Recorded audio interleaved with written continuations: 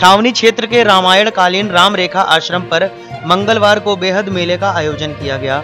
इस मेले में क्षेत्र के सैकड़ों गाँव से अपार श्रद्धालु पहुँचे तथा राम रेखा नदी में पूजन अर्चन के साथ राम रेखा मंदिर में राम दरबार की पूजा की मंदिर के पुजारी महेंद्र दया शंकर दास ने बताया कि यह पौराणिक मेला सदियों से चैत्र मास के शुक्ल पक्ष की त्रयोदशी के दिन लगता है। मेले में आए श्रद्धालु मंदिर में राम दरबार का दर्शन कर अपनी मनोकामना पूरी करते हैं। राम रेखा मेले में घाट को स्वच्छ पाकर क्षेत्रीय लोगों के सुबह से स्नान करने का क्रम जारी रहा।